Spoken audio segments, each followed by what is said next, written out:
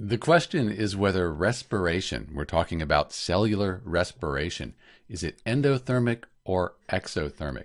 And the short answer, it's an exothermic chemical reaction. And here's why.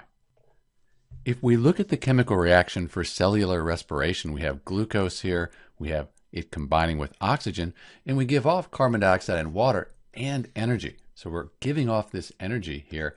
Since we're giving that energy off, it's exothermic.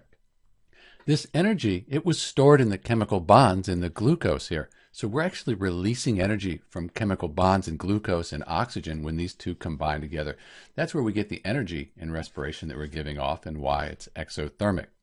In contrast to respiration here, cellular respiration, which actually gives off energy, photosynthesis, it stores energy and it stores the energy from the sunlight through a series of pretty complex chemical reactions in glucose, in the chemical bonds in glucose.